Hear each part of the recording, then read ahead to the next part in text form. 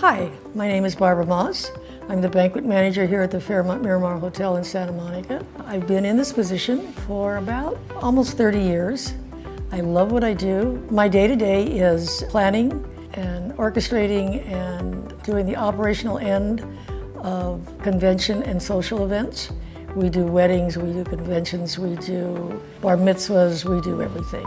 I was born in Los Angeles and three days later, my mom brought me home to Santa Monica. We lived on 17th and Pico for the first 14 years of my life. I've been in the restaurant business almost all of my life, yes. I love it because there's nothing ever boring about it. It changes every day. It's new and different every day.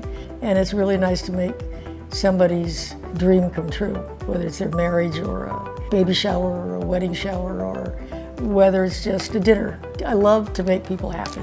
There's been a lot of changes in the city. I remember when they paved Olympic Boulevard, and I remember Santa Monica downtown before there was a promenade.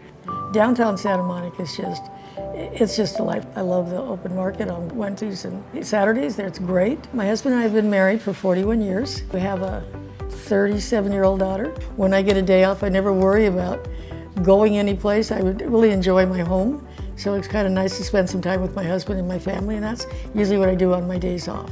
It's amazing when you come and you drive into Santa Monica and you look at that magnificent ocean every day. And the people and the, and the energy and just the love here in Santa Monica is wonderful. I love what I do. It invigorates me, it gives me the energy that I need to wake up and, and be excited about having another day.